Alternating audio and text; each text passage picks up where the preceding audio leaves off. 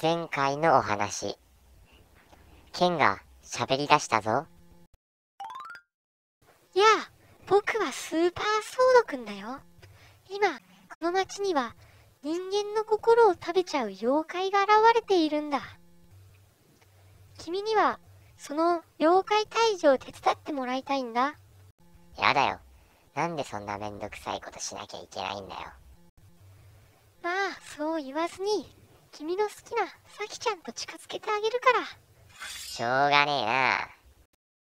今、サキちゃんの近くに妖怪が現れているんだ。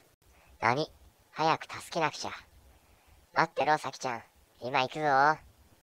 この先に妖怪がいるはずだよ。ブシャシャシャシャシャシャシャシャ。美味しそうな女がいるな。ブシャシャシャシャシャシャシャシャ。